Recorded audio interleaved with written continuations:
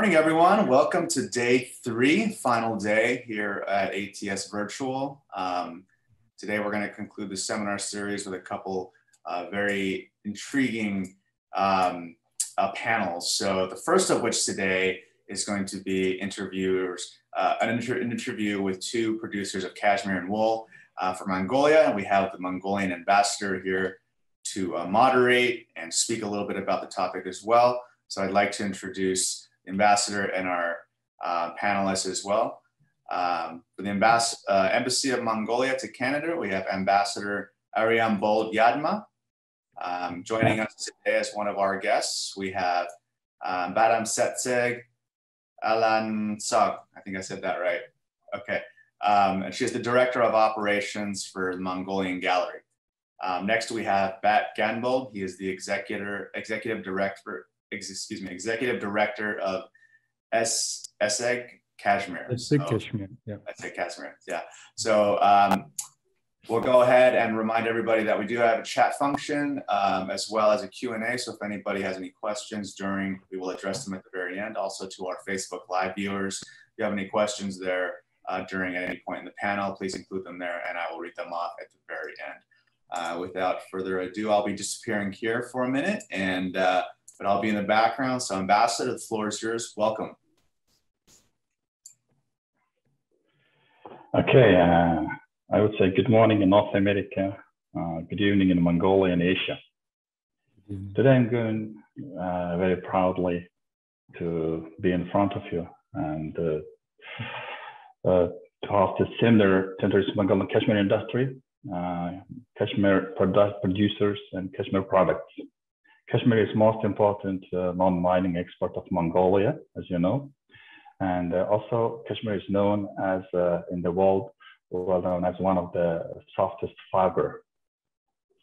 Uh, although we are supplying about 45% of uh, all the raw cashmeres, uh, Mongolia is just producing probably 10% out of them. And we supply to the global market with the trademark made in Mongolia. Basically, Mongolian Wool and Cashmere Association, I would like to really emphasize, emphasize on that uh, point that introduces Mongolian Noble Fiber Certification trademark. Mm-hmm. And that certifies the product is made in 100% uh, with high quality wool and cashmere, sustainably sourced from Mongolia. That meets Mongolian and international standards for textile and woven products and fully complies with quality of standards and environmentally friendly manufacturing. Why I mention here about quality and sustainability is that uh, we traditionally uh, maintained the of the, uh, especially I mean that among other farmers and herdsmen were just uh, having that nomad style of uh, uh, living in the rural areas in a very cold climate. And as you know, just that those little animals, little cattle, name it, a goat, survive at the minus 40 and even colder weather.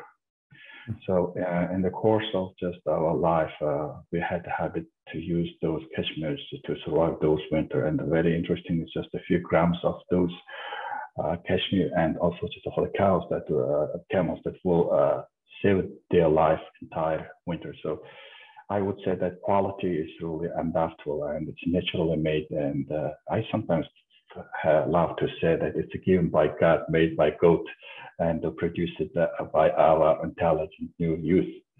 And so, uh, and to prove that quality is just uh, it's uh, hard work that Mongolian Wool and uh, Cashmere Association hardly worked out with international communities to prove the quality of that product. So uh, in Mongolia, the cashmere sector supported nearly 10,000 employees uh, according to 2020 statistics, which 90% uh, were women. That is in uh, my, I would say, the, my third point, really would like to emphasize. And that 52% of total registered entities, uh, companies are women-led entrepreneurs, women-led enterprises. So it reflects a policy of the government pays particular attention to give women and more equitable access to the business. In here, just I also find the similarities with the policy of Canada, similarities. So uh, I would uh, pause on that, uh, and I would like to introduce today our guest, Mr. Bat Ganbold, CEO of Cashmere Holding, one of the oldest, I would say, cashmere producer. Cashmere Holding established in the mid of 1980s uh, in Mongolia, and uh, as a first the processor and the heir of the raw cashmere. And uh, from the early beginnings, the company has uh, became the, one of the leading manufacturer of cashmere holding and accessories. So next guest is, uh, you see the beautiful ladies, and Ms. Madam Chittagaltan uh, she is, as mentioned before, director of the operation uh, of Mongolian Gallery and uh, retail store dedicated to promoting Mongolian micro and small entrepreneurs, uh, introducing Mongolian brands to the global consumers. Uh, I'm very proud that she is graduate of Canadian universities and uh, working on, on that uh, industry. So let me start from Mr. Ganbold. Uh, Cashmere Holding is mm -hmm. Invented, I would say, a very nice brand, Evseg, which is very famous not only in Mongolia, but beyond our boundaries. So tell us more about the Mongolian cashmere production and how do you uh, how do you find the way that you know just uh, cashmere will be the one of the uh, mainstream of the export and uh, how what to say about the uh, cashmere raw materials and cashmere products interlinks and one what is your unique nature especially that I would say advantages just to, to compete in the world market. Mm -hmm. Thank you, Mr. Ambassador. Thank you for having me. It's a great honor to be attending the second time in uh, the World Apparel Expo in Canada. Uh, the first time we met on uh, uh two years ago before the COVID. Um, it's the, we are happy that um, and it's also honored to be attending the second time of this show. I mean, the Apparel Expo. Uh, let me introduce the, our industry and uh, our company as well.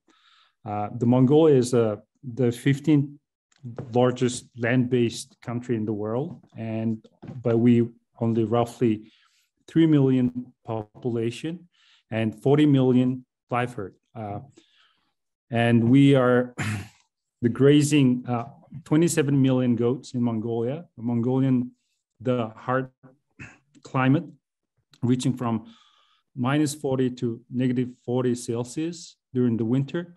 In this harsh climate, the goats, in order to survive, they produce fine quality uh, fleece from themselves to, to keep themselves warm. So uh, when the spring came, they shade their unwanted hair. And so the herders come and collect the raw material, which is cashmere, and sell it to the domestic companies and also export roughly uh, supplying the 45% of the, the world raw cashmere to various countries, mainly to China.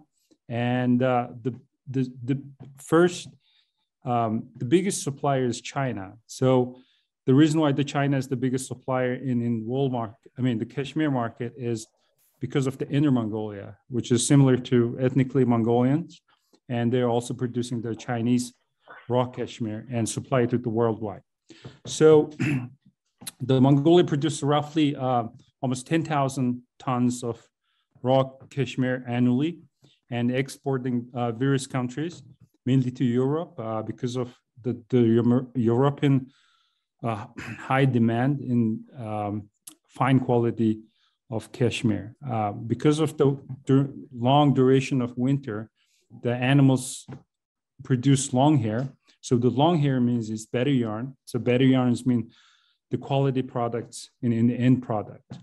Um, and our company founded in during the Soviet era by the aid of the Russian government and to produce the process the raw material and export it to mainly the Soviet countries. But in 1990, the Mongolia became democratic and the free market society. So the, our employees decided to buy the company itself, and then it's employee owned.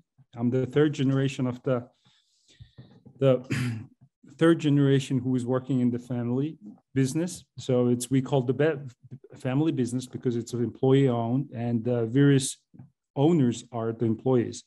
So as ambassadors stated that uh, our industry employs 90% of the labor is a female workforce. So we are very proud And also we address um, the woman, um, the social issues such as daycare and maternity leave and, and many other aspects of uh, surrounding uh, lady workers. So in that regard, it's our industry is very significantly important in, in uh, Mongolian labor force. So also the Mongolia is, as ambassador stated again, um, that the half of the population is nomadic. So every nomadic family pretty much owns the goats and herds, and th that's the main staple income from the, the, from cashmere industry. So we are very proud to say that uh, everything we produce and export, bringing the cash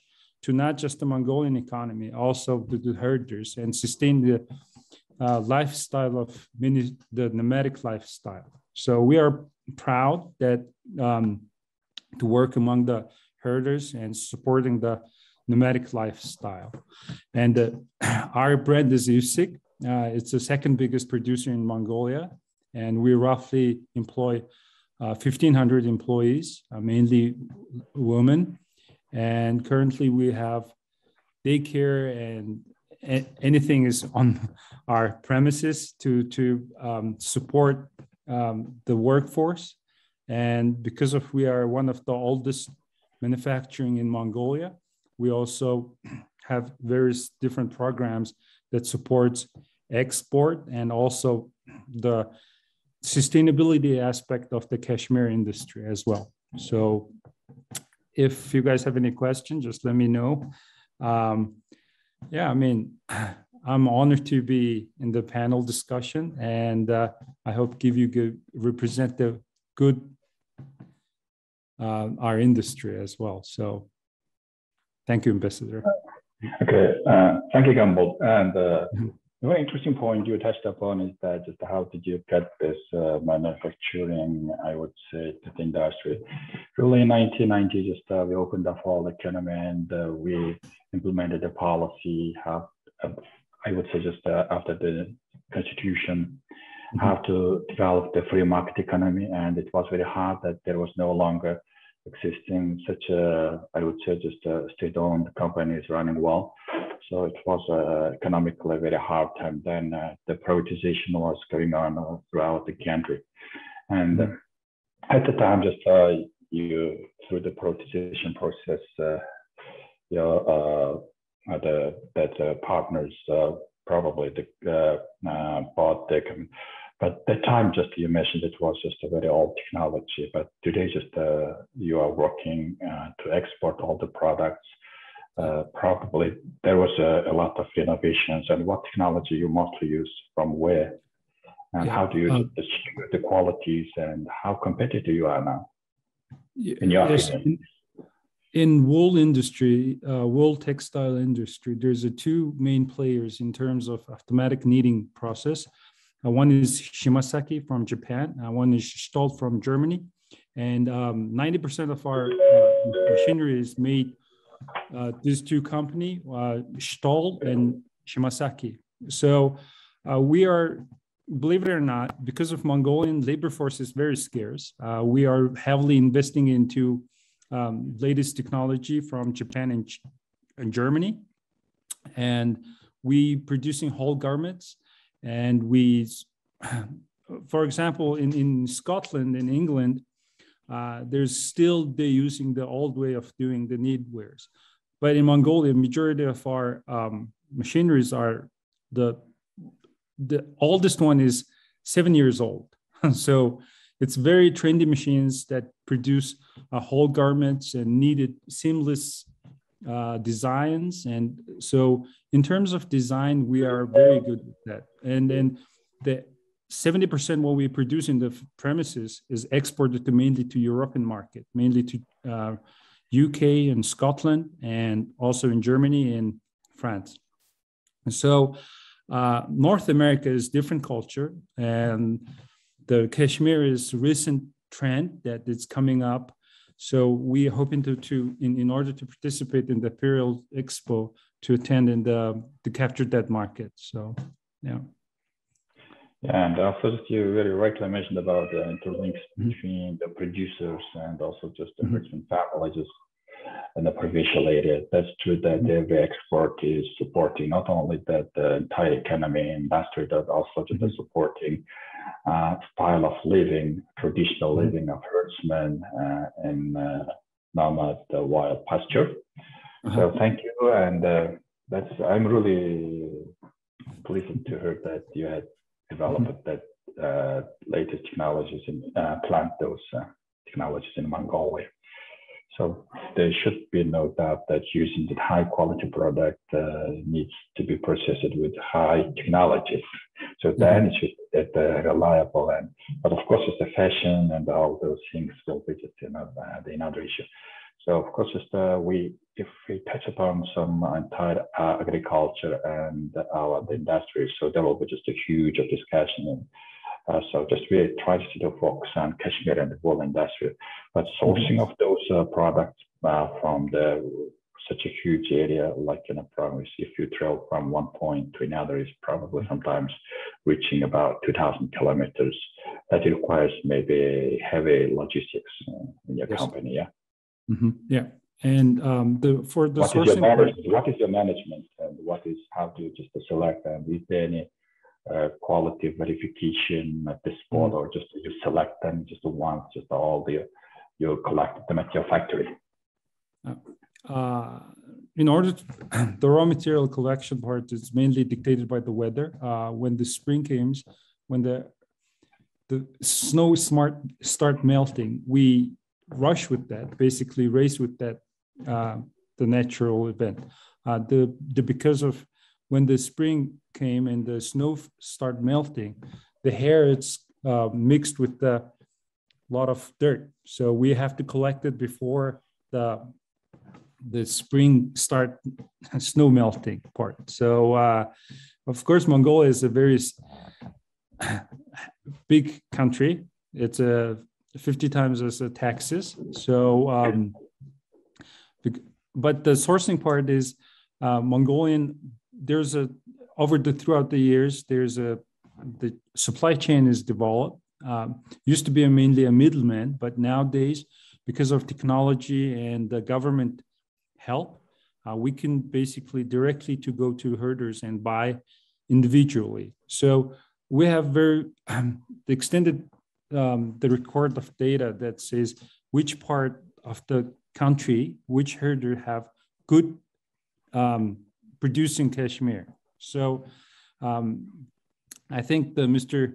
Ambassador will introduce the, the government uh, program that's called no, uh, Noble Fiber. Uh, so Noble Fiber is a program that's um, really emphasis on sustainability and traceability. So the traceability part is if we buy ton or or you know 500 kilogram of raw cashmere from one herder, we basically tag that um, raw material and we can see the how it's how much it's yielding throughout the process. So if any product that's are finished in our facilities, we can trace it back which family produced this raw material. So this is not just our company; it's a whole, it's a government program that's emphasis on sustainability and traceability. So because of this program that introduced in two years ago, we are the one of the the first few that received this traceability Noble certificate. Um, with that, uh, we can basically trace every garment that whoever that produced that raw materials, which part of the Mongolia, and which family produced them.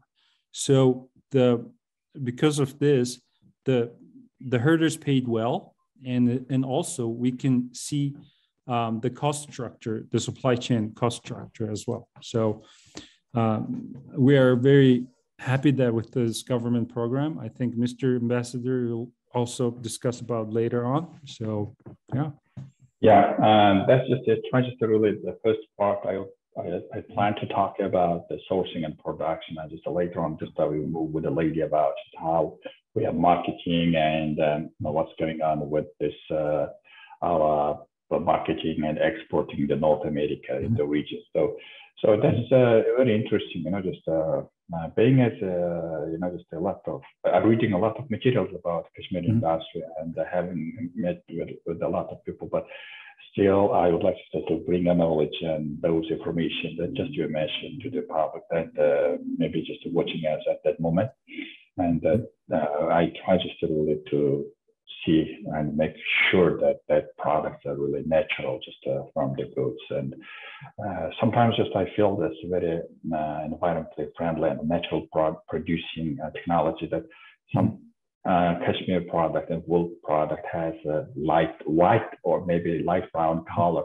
They would just say there is no chemical, no uh, paint that you know just so no nobody dying that you know just with the color. So if I just it's uh, just that, that there should not be any chance that uh, allergy or any effect that there is no chemical. I, I never seen that product that naturally comes from the uh, I would say the skin of the little animal and goes to become the end product final product uh, for the consumers.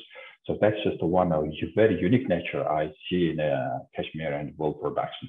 And secondly, mm-hmm. that's very natural that, you know, just the, the, the government policy is very, I think, uh, relevant to assure the quality and uh, the source and the, uh, those products. And especially just that you mentioned that you have the, some records of mm-hmm. treating the uh, products and the uh, originally just uh, where did you collect it. So that's very important also just for the government to see the economic, economic data will give us just to make more uh, precise policy to support the industry. Also, in other hand, of course, uh, we will definitely improve the, uh, uh, insurance that product will be high quality and uh, go through the certification. Of course, uh, there is a little bit bureaucratic procedures to start with certification, but that is just one of the layers that is mm-hmm. required to be, you know, just a normally foreign type process uh, will be sure with the with quality. Okay, and uh, also just uh, you mentioned about the latest technologies uh, you mm-hmm. guys are using uh, in your uh, factory. That is uh, really point that I intended to do to the public and the audience today. Mm-hmm. So, of course, mm, still just you are just one of the success story of Mongolia in the cashmere industry, and the uh, is really willing to, to increase the production of cashmere producers and also just uh, we would like to start to processing of the cashmere and uh, put uh, can put the goal that uh, increase this uh, at least the cashmere processing up to 60 percent. Mm-hmm. And the probable just now this we have maybe at the 10 percent, so means that just uh, we will uh, multiply it six times. That is enormous work and enormous collaboration, and we should have just a very strong vision and political will is there, and uh, it is uh, stipulated in the current action plan from 2020-2024 that special cashmere program is one of the government priority to diversify our economy, mm-hmm. especially mm -hmm. to increase this export products. So that is uh, what is your confidence from the industry. Just, uh, just you mentioned that, you know, just the probably it's good that, you know, just the supporting the industry to collect the raw materials and given the time that just you need to prepare all those, you know, when the snow melts and, but you still just trade and process throughout the year. So just uh, what you see uh, the perspectives of the government policy and uh, what was it working? Uh, is it working in uh, in your case? So I would like to, to hear about it.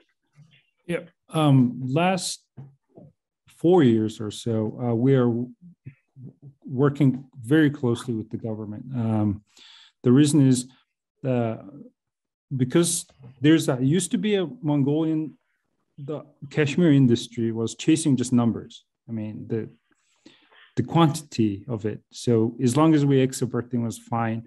But nowadays, because of the the climate change and sustainability aspects, not just Mongolia, the first the buyers are demanding that sustainability and traceability And used to be we were just basically selling the huge amount of raw cashmere to China and then the Chinese buying it and then producing the whole garment and exporting to Europe. But nowadays, the European buyers know this, and some of the big brands are interested into Mongolia and buying directly from Mongolia because it promotes traceability aspect and sustainability. So cutting the middleman is always win-win for the end users and the producers from the herders as well. So uh, because of that, the Mongolian half of the, the voters are nomadic. So the government have to give very emphasis on, on, on the herds main income of source, which is raw cashmere. So because of national and international sustainable programs that's promoting the traceability and sustainability, we are as a, with the country, with the government and industry, really shifting onto um, the quantity versus quality. So we want to focus on the quality. Because of that, uh, recently the main big European high-end brands are sourcing it directly from Mongolia.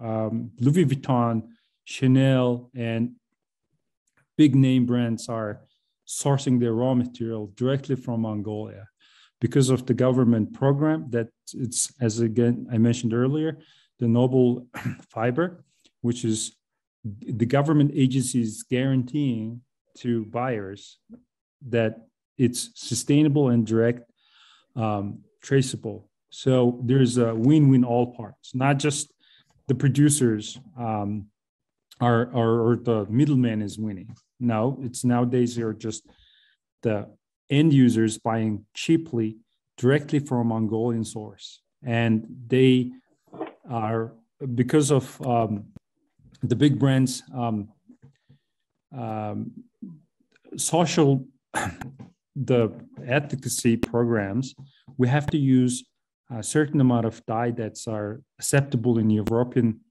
market. So, so basically, the market dictates what we do. So, in order to resell into European market, the European regulation is very high. So, in order to to reach that uh, high um, uh, spec, right, specification, we have to have to be using the European dye and European um, technology and the latest stuff. So those are very efficient in terms of um, electric use and sustainability and traceability. So that plays huge role. So the government is also is also helping. We don't want to be just mining um, nation, you know. We also want to export because of our traditional nomadic background, we want to produce um, the agriculture products, mainly from leather, wool, cashmere, and meat as well. So that sense is, um, I think the government programs are working because is the government programs also working closely with the international programs as well. Uh, Asian Development Bank, European Development Bank, and American Millennium Foundation programs. Those things are helping the Mongolia to be the very competitive in the global market. So that sense, I think it's have to work and also it's working as well. So from from my perspective, because it's our um, the many years ago is it's just by ourselves doing everything, but now it's the government is also playing huge role in in our uh, compatibility in, in the global market. So yeah. Thank you, and uh, I think uh, you know government role is very regulatory mm-hmm. and uh, very happy to hear that that drill is performing well mm-hmm. and reaching out, and especially uh, it, if it supports to encourage entire industry to uh, increase their production and mm-hmm. uh, efficiency and especially just if you have opportunities to be developed at the your industry and also facilities. So that's a very good. And uh, Currently, is really intent to have a very sustainable policy and act very practically efficient. Efficiency is one of the priority and result-oriented practical approaches always comes uh, such a result and progress. And mm-hmm. at the end, that is one of the uh, another uh, of kind of collaboration between private and public cooperation. Yep. So, uh, and it's uh, good uh, to hear that some reputable brands from worldwide is coming to Mongolia to source the raw materials. So already we have their trust and we are in their radar. So it's mm-hmm. thanks to our private entrepreneurs, uh, mm-hmm. thanks to their hard work and strategies. So now I would like to maybe just a very uh, last question related to the producers. The worldwide issue is the pandemic and restrictions and healthcare precautions mm-hmm. So how does it affect uh, current your production and sourcing, and also what is your uh, perspectives in the post-pandemic era, how it was hurt? Yeah, yeah. It's pandemic is uh, at the beginning it was is hard, but um, it's a very interesting effect on in terms of production and also the sales as well.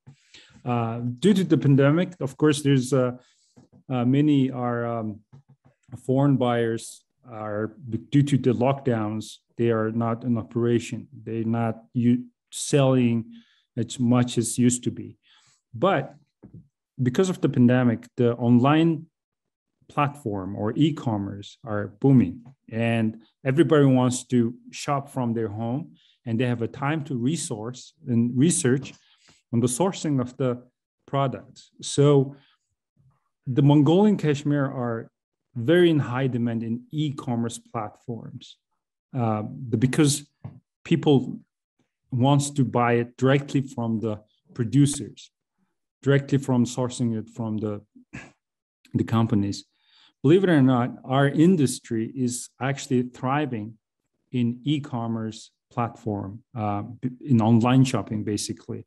The traditional shoppings are no longer you know the every sale clerk can't answer where is mongolia? Why the mongolian cashmere is best? They can't answer that. But the, with the help of e-commerce we can answer and educate and marketing our our industry as a as a as a country and as a industry and because of that many people are directly contacting from abroad and asking to buy from mongolian cashmere and they researched it with the help of um, basically internet, right? So we are very um, investing on on e-commerce and live commerce. And again, and Mr. Ambassador is sitting in in Canada. I'm here in Mongolia in the evening in my living room, and we are just discussing about the, this this event, right? So with this help of technology, I think it's we seeing big opportunity in terms of sales and in terms of marketing and educating the customers what is Mongolian cashmere, why it's the best cashmere in the in the world, so and why it's it's ethically sourced and and, and, and sustainably um, it's good for the environment as well. So yeah. So the yeah, pandemic has two sides. So yeah. Uh, of course, just the pandemic has bad and good sides, and uh, two sides are also the combined as a result and the reality of today mm-hmm. what we are seeing. Yeah.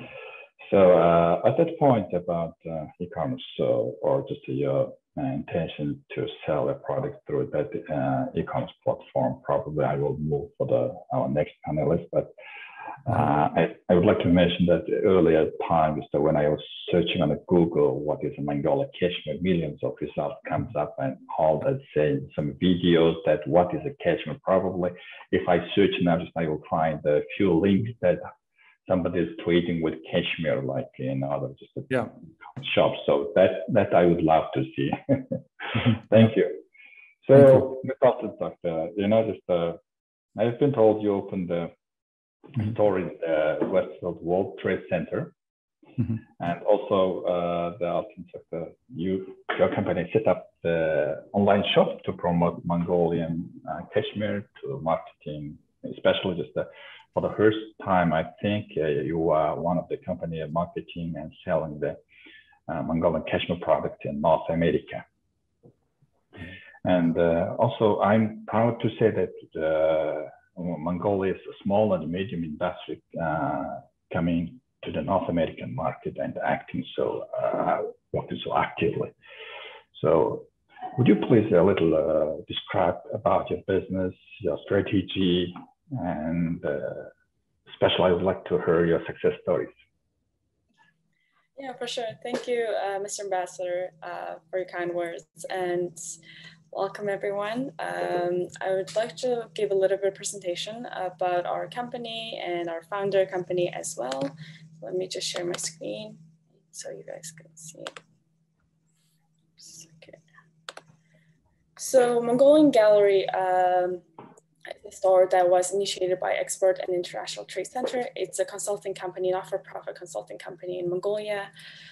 Their mission is to support and assist our national producers, increase the value-added exports, as well as increase the export diversification of brands, and assist with the export uh, increasing the export contribution to Mongolian economic growth. So we work to provide comprehensive export network and opportunities for micro and small medium businesses, as Mr. Um, Ambassador said. And um, we're mostly focusing on cashmere, wool, and leather industry. And we also work to affiliate the relationship between private businesses and public uh, uh, government agencies. In doing so, we organize uh, trade shows, uh, virtual trade shows, and actually physical trade shows due to pandemic, we hosted one of our most recent trade show, Mongolia Japan um, uh, show. It was for the fifth anniversary of Economic Partnership Agreement virtually. So it was on the exportmongolia.org platform that we hosted about 100 companies representing their products, their companies, showcasing what their potential is to uh, Japanese networks and connections. Um, and our next event is in uh, United States in Washington, DC in November. We are showcasing also of our Mongolian um, brands, our wool cashmere brands, as well as leather and accessories as well. Uh, that one would be hybrid, which would be the first time that we're hosting a hybrid event. It is going to be on virtual and physical. It's going to be at the Washington, D.C. World Trade Center. So we work closely with private businesses, mostly small, medium businesses and female-owned businesses, as well as government agencies as they support all of our events and, uh, you know, uh, assist with uh, getting networks, getting the word out, um, and uh, like that. So we just opened a Mongolian Gallery showroom. This uh, one is to also assist our uh, small medium businesses. So we were um, starting from logistics and we developed the trade shows, uh, getting the word out about Mongolian brands, Mongolian companies. Unfortunately, because we didn't have much experience, our small medium businesses don't have much experience ex exporting internationally. They didn't know what standards to uh, comply to or what design works best in what market. So we decided to open a store. Uh, we opened it last year, Mongolian Gallery Showroom at the World Trade Center in New York City. The building you see on the picture is Oculus. Um, mm-hmm. it's right beside the 9-11 memorial. So this is the most visited site in New York City. Um, and uh, we just expanded into some uh, larger space. So we're currently hosting about 12 different brands, uh, four from cashmere, two from leather handbags, one leather shoes, and handmade cosmetics, handmade jewelry, as well as accessories that are all made in Mongolia. So like we're proud to be representing Mongolia in World Trade Center as well as in New York City, um, and also show, we're proud to be assisting our small businesses and female-owned businesses and showcasing their potential and commercial potential as well as our culture in New York City. So uh, we also uh, understand, as Mr. Bat said, that the world of retail is for, uh, moving further from just being physical. E-commerce is such a big um, part of uh, business operation nowadays. So we created mongoliangallery.com and uh, platform on Etsy, Amazon, and eBay. So mm-hmm. these are also like a lot of like it has a lot of financial implications and financial resources for brands to build. So us having one single uh, space, one single website, it will be assisting all of our small businesses to cut out that expense and just partner with us, provide their uh, product to us, and then we'll all display it on this one singular platform. So anyone can visit um, our website and then purchase all Made in Mongolia products, not only one brand, but 12 different brands. So a little bit about export opportunities of Mongolia. So as Mr. Bat said, we we represent about 45% uh, of Mongolia uh, world's cashmere uh, supply. And even though we like export about 10,000 10, tons, it's not all like, you know, finished products. It's only 10% is finished product. And we're hoping to change that to increase the value added exports of um, cashmere. So these are some um, images of the finished goods. As you can see, they're annually, I think Mongolia represent about, uh, actually produce about 2.8 million cashmere wool products and only, um, that only represents a 10% of what we export internationally. So currently we're representing National Cashmere, Sealant Cashmere, Glamour Cashmere, Zolatse Cashmere. All of them have a different uh, uniqueness to it and as well as the design uniqueness to it. Um, as far as, as, as for um, hide and leather, there's about 202 factories that uh, manufacture and uh, process leather, and about 200, um, about out, out of the 202, 35 is processing, and 180 are uh, produces final products. So the brands that we represent at the moment are Mary's, Mongol Lettuce. It's a, also like true leather company in Mongolia that focuses on leather goods and accessories, handbags, travel bags, as well as Hasads. Hasads is one of the longest running uh, leather shoe manufacturers since the since uh, since 1990s, I believe, and they have been uh, making a lot of kids' leather shoes, working with Italian designers, Italian um, accessories, and all of the hardwares come from Italy. So it ensures quality, and they just want uh, associated with the C3 certificate, um, which qualifies for the safety boots, and they supply the safety boots to Tolgoi, the biggest mining um, in Mongolia. It's also owned by Rio Tinto, I believe. It's an Australian company. Um, so uh, with EITC, um, we're with the brand associations uh, with EITC and Mongolian Gallery, we're hoping to uh, increase our brand recognition worldwide. So we don't sell the product as Mongolian Gallery, we sell it as, you know, however branded it is, Sealant Cashmere, Zolta Cashmere, so they get the acknowledgement that they deserve. We are the third man just representing all the brands in North America and assisting our small businesses to find um, to find suppliers, like actually buyers and uh, big buyers, as well as like just showcasing the commercial side of it to worldwide customers because World Trade Center is the most visited, as I said, and it is a tourist spot. So every uh, people from everywhere around the world like comes mm-hmm. and checks out our products and also notes the uniqueness and the quality of all of our cashmere as well as the small accessories as well. Mm-hmm. Thank you, Alton, for your very excellent introduction. And I'm really proud of you again.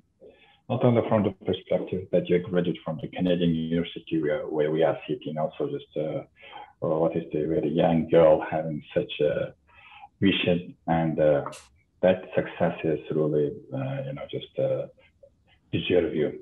That is a result of your hard work. Uh, and uh, after the production, I would say that the trading and the trade is a very uh, unique aspect. And uh, in 1997, Mongolia became the WTO member. So intention of that governmental policy was that, you know, to, to develop the trade and uh, to be connected with the world.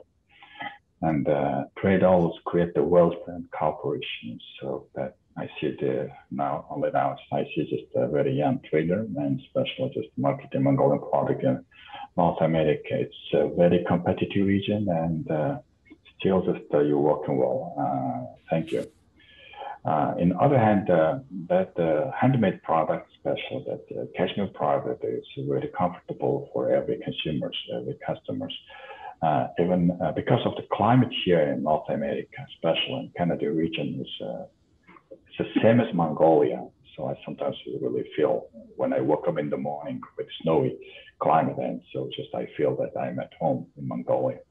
So therefore, that uh, climate uh, and uh, that very affordable price for such a high-end product produced in Mongolia, if uh, it's delivered to the North America, it will be one of the kind of the caring the people of their health, especially in the area of the pandemic, in the area of those population uh, really uh, concerned about their immunities. So it's a very universal, uh, technically, oh, sorry, I received messages, but it was not a question to our seminar. So I really would like just to mention about your November event, and uh, we, we, are working on, on to extending it to the Canada following the event. Since just they arrived in North America, to combine these two countries would be economically very reasonable and easy. So, but uh, let us see just what will be the, the border restrictions by that time, just if there's a quarantine of the two weeks. So it will be hard uh, waiting for two weeks in some hotel for the next event. It will be very costly. So let us just uh, look at this uh, very positively and hope that because of vaccinations, definitely the situation will be easier. So now we just uh, covered just uh, the sourcing, so the production and high technology, and uh, also just how we are marketing and trading in North America, especially just in the heart of uh, United States. Uh, uh, New York is a very special place. So I have just a common question to both of you. Just um, uh, what you see in the future of the cashmere industry in relation to your producing and the marketing in the, especially in North America and also in general. And I would very appreciate if you can would also focus on uh, the company strategy to marketing to Canada as well. So I would like to, to hear your voices. It can be your ambitions, you know, just ambitions. So I, I would not require any time uh, so that uh, you should you should keep your words. but what is your vision? Yeah, for sure. Um, so I actually, as Mr. Ambassador said, I graduated in Toronto, so I've had um, privilege to meet people from different world, uh, different parts of the world. And when I say Mongolia, they wouldn't really highlight cashmere, but it seems like nowadays, like now I'm in New York City, like meeting people, they know the cashmere's quality um, the cashmere is the softest, the warmest, and it's a really high quality while being affordable. So in, in the future in North America, I believe cashmere, Mongolian cashmere will be more known and the brands will be more recognized. Um, and with our, uh, with the steps that we're taking and um, if the cashmere is taking, it will be like known worldwide that's what I believe in. And for our perspective, our vision is to expand Mongolian Gallery to Canada because, as Mr. Ambassador said, the weather weather uh, is really similar to Mongolia. It's cold. it's very cold in the um, in the evening and in the winter. So it would be in, um, that's our uh, business strategy in the next five years to expand uh, to Canada and also increase our marketing and partnerships with different cashmere brands uh, uh, to up to 20 cashmere brands from Mongolia. Mm-hmm. Yeah. Also, I'd like to also add one thing. Um, as again, uh, in New York, there, in North America, through the big store um, like Macy's and different uh, JP, I forget um, the many brands actually that produces sells the the cashmere products. Actually, majority of them actually sourced from Mongolia, and uh, because of the private label disclosure agreement, uh, many of them just says, you know, Macy's or or different brand names that's on. But reality is the maybe 90 or 80 percent of them is likely to come from Mongolia. So only recently that the Mongolian brands trying to sell to directly to the consumers, not through private label or uh, uh, different through different brand. So, as again, and, and if you are wearing in North America cashmere products that you buy from North America, it's likely to produced in Mongolia, or it's at least it's sourced directly from Mongolia. So, yeah. Thank you. Uh, I would very happy to hear that the young voices and uh, in fact, you know, so I've been posted here about three years ago, and the very first meeting in Mongolia before my departure was uh, held in uh, my foreign ministry office. It was uh, Mongolian uh, wool and cashmere industry representatives. So why I mentioned is that you know it really takes time. Uh, even just, just today's meeting happened only three years after, but gradually, just uh, you know, just we are progressing, and uh, therefore, just I'm very confident that the from the sourcing through the production with high technologies and uh, through that young initiatives, especially from the small and medium industry, uh, based on the uh, electronic uh, e-commerce platforms, also just using the connections and uh, uh, if possible ability just to have to open that stores and shops in North America. That is just you know great that you know just you are starting, that would be really cost effective. Of course, the marketing requires more additional hard work and more expenses, but you could, you know, just uh, already connect two ends, you know, so from the sourcing to the end users.